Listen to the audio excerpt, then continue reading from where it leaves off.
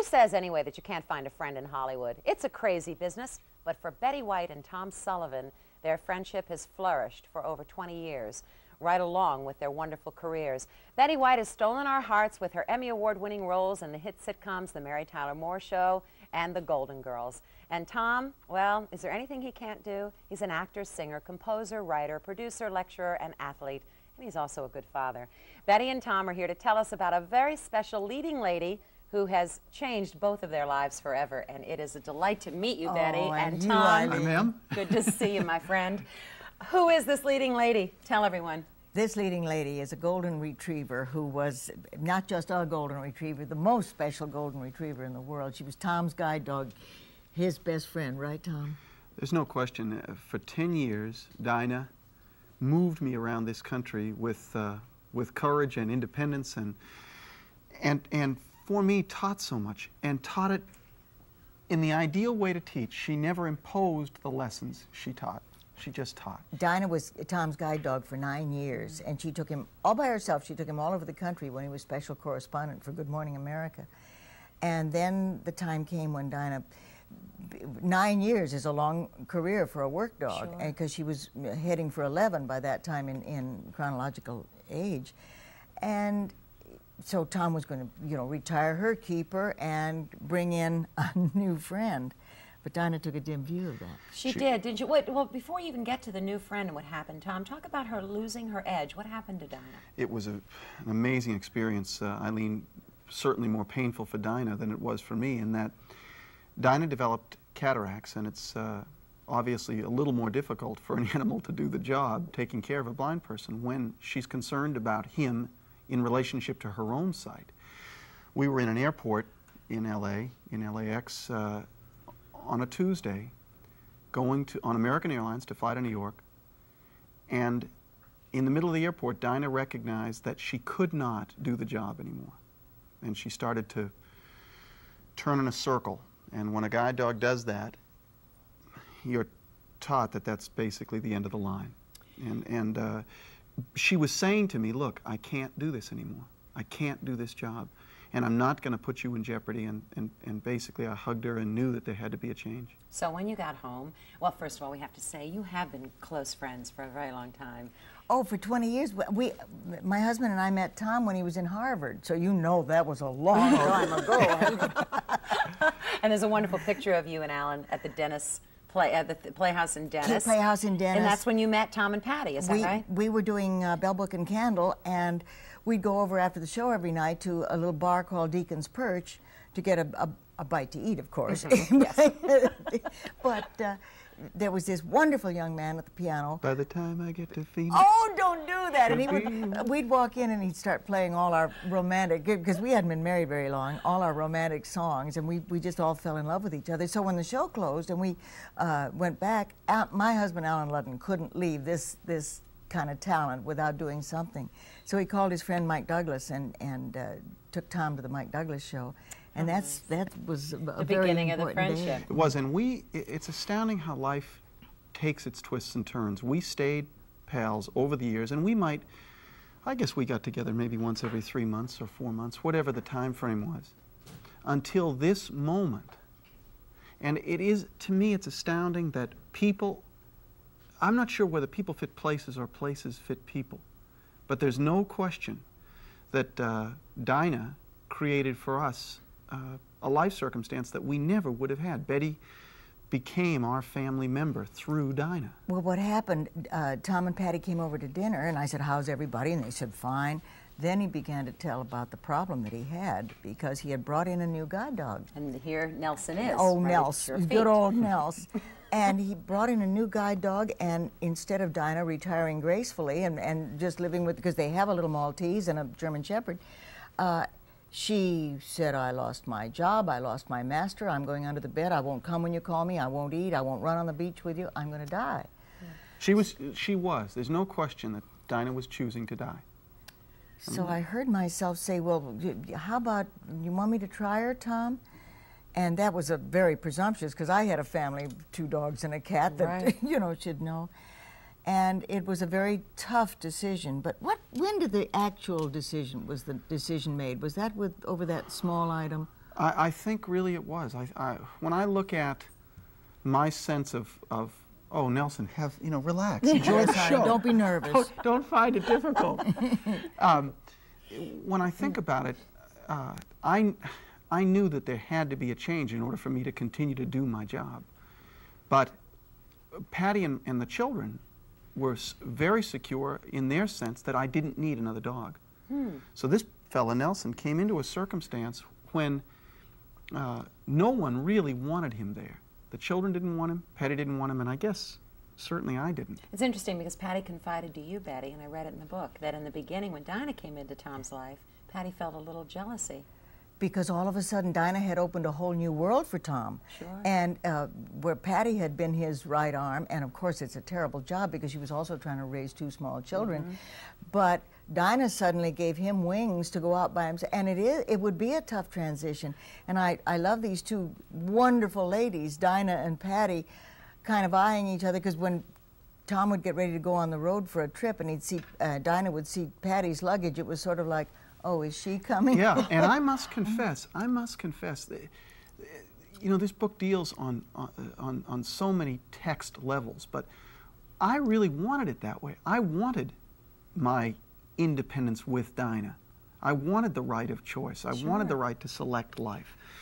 There was uh, an awkwardness. But the remarkable thing was when Dinah came to me, uh, you'd think that it would be a, another trauma.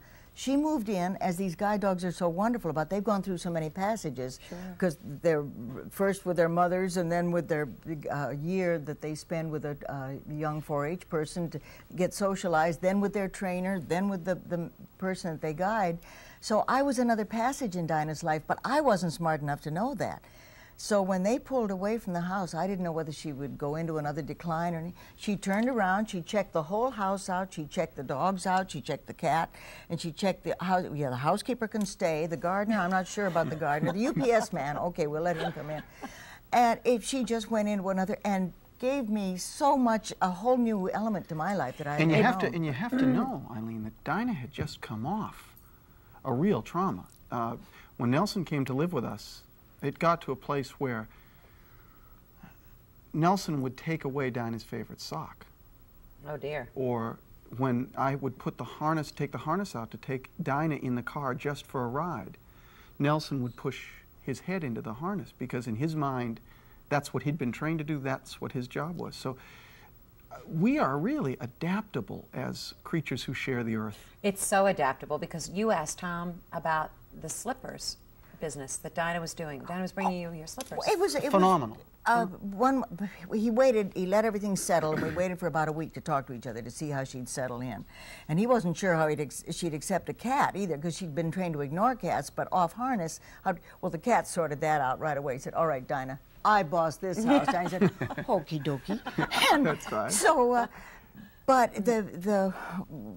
the- I got off the question with slippers, the you kitty. asked Tom. The, about a week afterwards, I said, we talked to each other, and I said, I think everything she does is so perfect, and that slipper thing in the morning just kills me. I couldn't believe it. he said, "What?" I cou- what I said, "Well, the alarm would go off at 6:30, and the first thing I know, I'd feel the whole bed shake because she's standing, leaning against the bed with the tail wagging, and I'd open my eyes, and there's a blue slipper right here."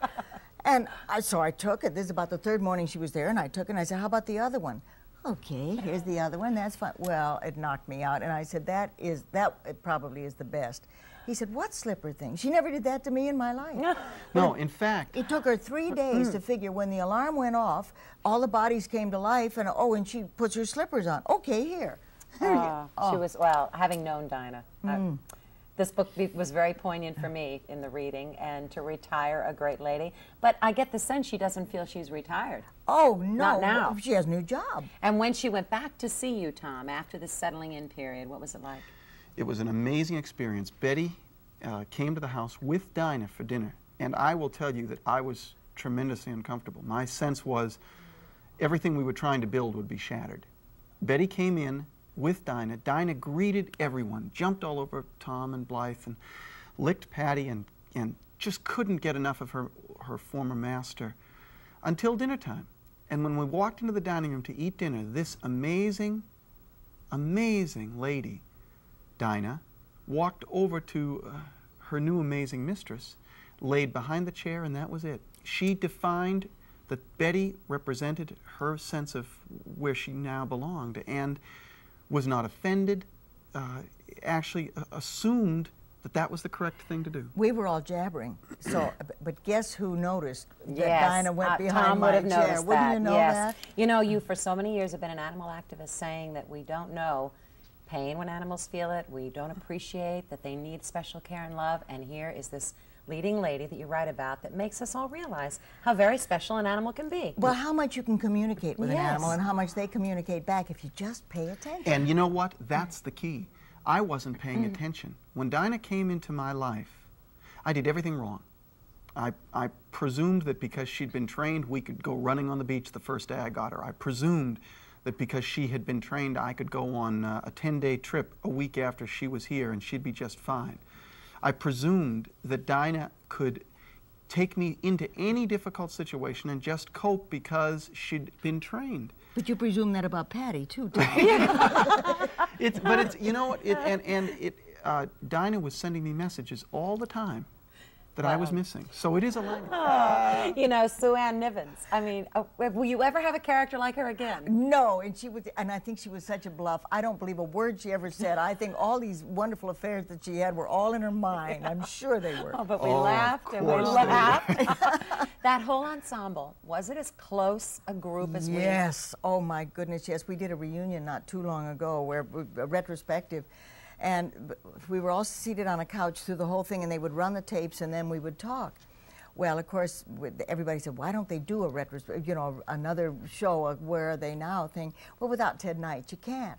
So we would be watching the clips, and pretty soon this would break us up, and that, and the tears would start. We got to the last show, which I've never seen uh, other than underwater, and none of us has. And we got to the last clip that they used from the very last show, and here's Mary sitting on the arm of the couch by now next to me, and I feel drip, oh. drip on my shoulder, and I I look down the whole thing, and everybody, the tears are kind of going out, you know, not just down, mm. but out this way.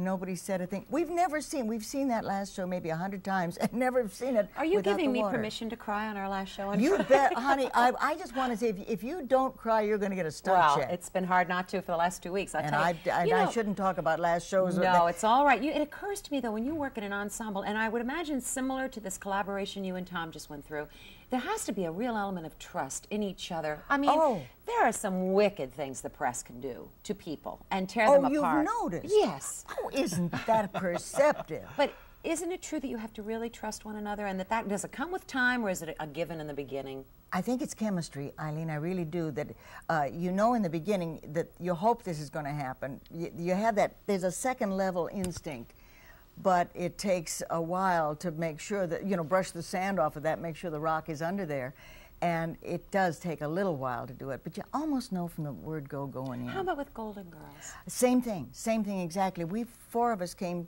together with careers in place. It wasn't like there was one new person that, oh well, I want to be sure that I have enough lines. I think we all were professional enough. We show up on time. Our lines are learned. We don't spend two days in the in the hair room, and it. Uh, the first time we read the first pilot script together, you could tell somebody would throw a line and somebody else would bat it back, and you knew you better if you're going to bat something over that net, you better be ready because you're going to get it right back Uh-huh, again. uh-huh. And professionally, we trusted each other, and then gradually relaxed into such a friendship that it's it's it's more than that. We're related. Doesn't it make you angry when some folks who just don't have anything else to do write that you don't get on? Oh, they don't want to hear that we get along. What duller story is that that these girls all love each other and isn't that swell? So uh, they have, I think it's about every four months, they have a storming off the set. We are not going to. One time we all four stormed off because the writing was ridiculous and the writers were so upset that they went away and in 20 minutes they rewrote the show and they came back. The writers had that glued up on the wall of their office. They love it. They said, if we can re- if we can write one of these shows in 20 minutes, we're better than we thought we were. And you know, as you write about in the very last chapter, the whole book is so moving that you two have just done, but you write about how you get a week to actually prepare for Golden Girls for any any show mm-hmm. before you do two tape versions in front of an audience, and you have time to memorize. And how amazing it is that mm. Tom, everything you do is by memory, isn't it? I think it is. You know, it's it's when I when I've done Betty's form of television, and I say Betty's form because she virtually created it. There was Edison, there was Marconi, there, there was, was Graham Bell, and there Alan was Ludden White. used to say I was a star of uh, pioneer in silent television. anyway, li- when life was with Elizabeth was great. I, I have to say that uh, uh, the hardest thing in, in Betty's form for me to do is that writers rewrite. So I'd come in on, on first day completely prepared because that was the only way I could do the readings. And now the rewrite starts. And sometimes there are four or 5 in a week. Uh, the brain begins to get pretty mushed by the time the week ends. And, and that's why most real uh, long-term talents in Betty's work carry scripts quite a while. Now Betty doesn't. Betty, you virtually do it the way I do. Everybody learns differently, Sure. but but Tom couldn't rehearse. He couldn't he couldn't do a first read through. there are directors who still think it. that. yeah, No, but I mean, he had no other, other. He had to know that script going in. Yeah, but you have, I mean, it's very clear in this book that you use senses that we only know we have, that we do not use in full. It's fascinating, Eileen. I think that the, that my sensory approach to life is very much like Dinah's sensory approach to life. There's a there's a whole undercurrent of information that Dinah knew and couldn't define to me until I could read her language, and that I know and don't define to people because I tend to take it for granted. Yeah, I've never met an ugly person unless they wanted to be. I understand the feeling of a handshake It's when it's the most amazing thing. Uh, your adventures with Good Morning America and the things that you do for sport in real life, they were not just for Good Morning America. You do ski. I do. Uh, I do. water and snow.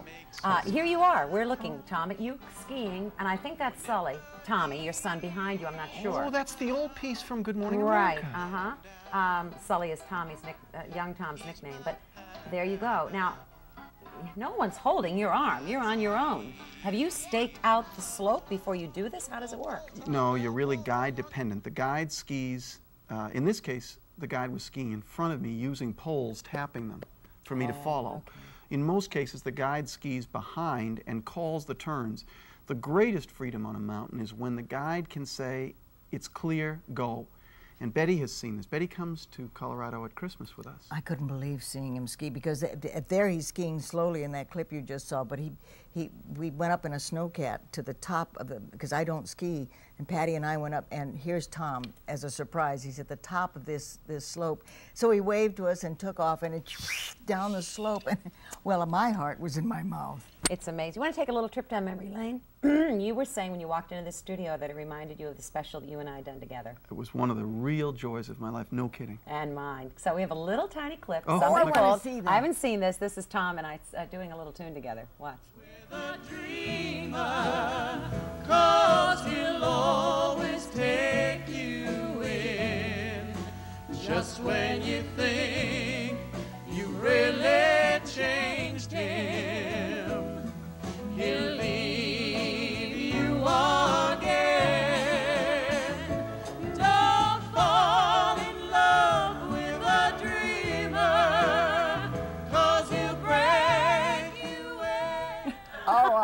That was that was our promotional little effort. shaky on the- little shaky on the pitch. Oh, that was God. at nine in the morning. That wasn't the special. That's Thank a- God. We had fun Oh, together God, doing I sounded that. like a deaf person. this voice, God's gift.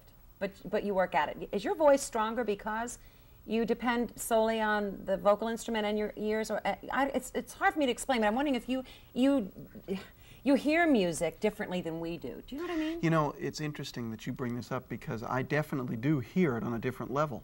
And part of what we have experienced in writing together has to do with the information that we've gained that may be beyond the, the sort of standard frame of, of, of reference. Uh, I, there's no question that, that you learn compensations.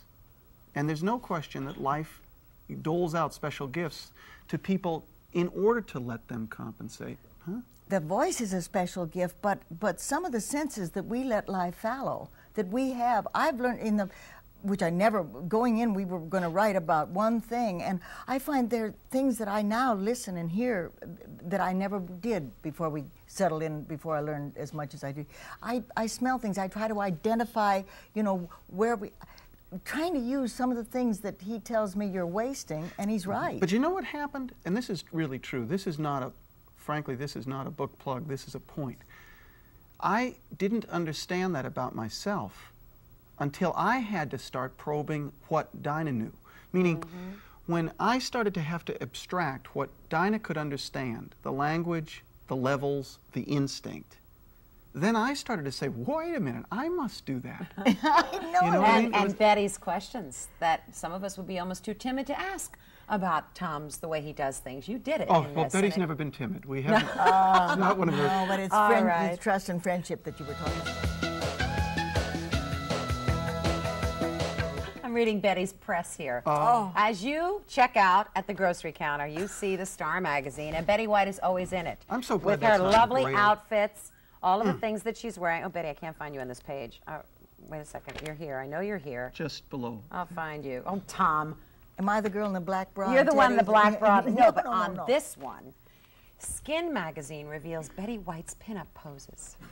Oh, that's hysterical. That's that that's a a riot. And some girl is getting along. I'm getting the credit for her body. No, this is she- you. Isn't this you? No, This those were isn't ta- they brought those to Alan about 12 years ago and said, "Look, we have early pictures of Betty." And Alan looked at it. He said, "I wonder who that that ain't that ain't my girl."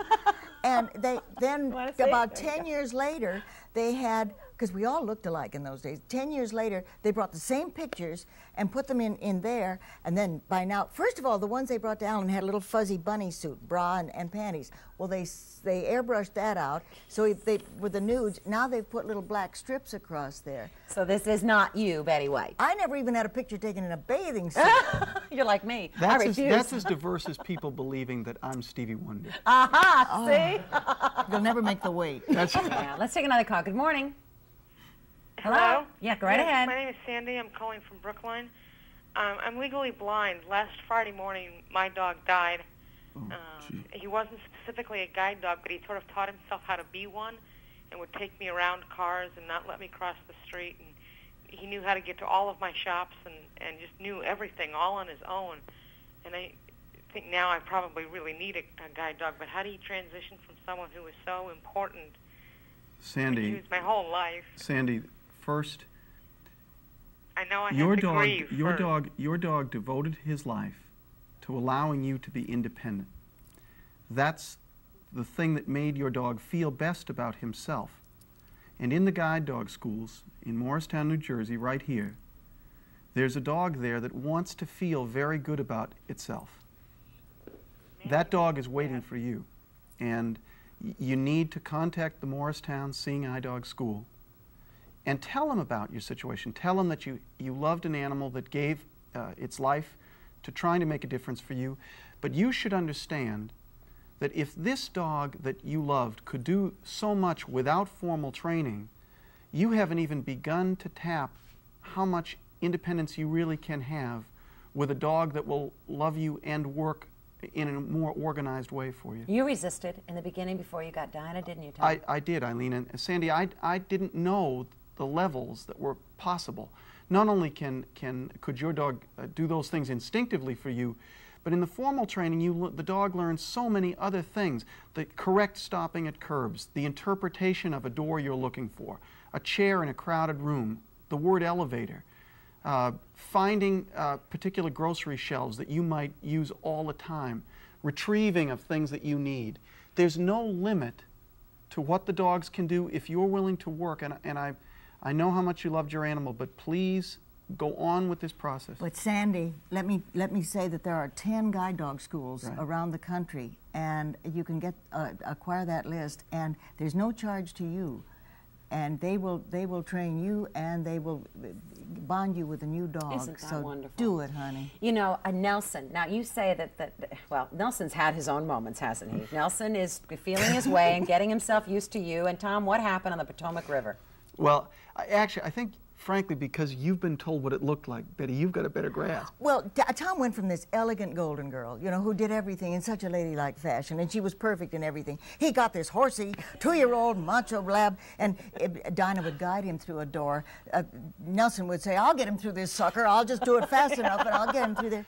Well, they were doing a, a picture shoot for a brochure, and they were taking some lovely sunset shots on, on these rocks and on in this canoe on the Potomac. Well, the photographer was on one rock, and Nelson didn't want to be left out. He was there near, and Tom was sitting posing against the sunset. And now you must remember a Labrador Retriever is a bird dog instinctively. He can't help it. But he's a trained guide dog until a wild goose landed right on the Potomac in front of him, off the rock, into the water, dragging Tom and the photographer with him. Everybody, 53 degrees, being dragged down the Potomac by the dog who thought this was the So greatest they thing. finally got dried off and got everything back together. Well, we'll do the shot from the canoe. That'll be much better. Nelson and the photographer in the canoe, and uh, this same. I bet this wild goose was up there saying, "Watch me get him this time." Lands in front. The canoe goes over. Everybody goes in the water, and all the director is saying, "Save the film! Save the film!" Right. Oh, any other Nelson stories while we're on it? Nelson The is first oh adventure. Oh, The- my- your oh, first yes. adventure with My him. first trip with Nelson in Chicago. He's perfect. We get off the plane. He's perfect. Down the jetway, perfect. Moving toward baggage, perfect. Down the escalator, perfect. A little four-year-old child with a chocolate chip ice cream cone without breaking a step. Nelson ate it. Not the child, the cone. Never missed it. you know, you describe Dinah as soft, Tom, a sense of softness, right? Do you have a word for Dinah, Betty? Elegance. I, I can't say anything else about it. She was just, she just assessed a, a, a situation, adjusted to it, and taught me how to adjust to it. Did you all really learn from this experience, and are you now bonded friends in a bonding way you never thought was possible, huh? I'm their, uh, the grandmother to their children now. That you know never happened It- before. it is really true. Is it Dinah true? taught me to grow up and taught Betty to grow older. Oh boy. The leading lady, Dinah's story. You want to be inspired and learn an awful lot at the same time? This is it. And you'll be at Laurie.